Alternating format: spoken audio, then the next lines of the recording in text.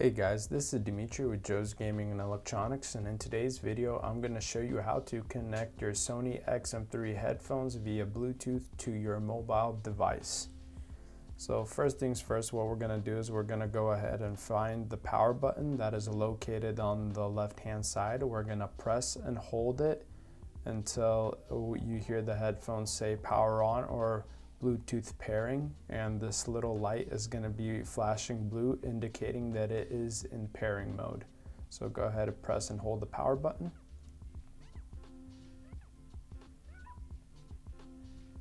Now that it's flashing, we know that it is in pairing mode, so we're going to go ahead and go onto our device, go into settings, and right where it says Bluetooth, we're going to go ahead and press on that wait for the device to pop up.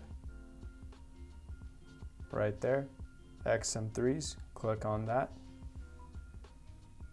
And the headphones will say Bluetooth connected. It would rapidly flash and then it just go to single little pulses and that is how you know that you have successfully connected your Sony XM3 headphones to your mobile device.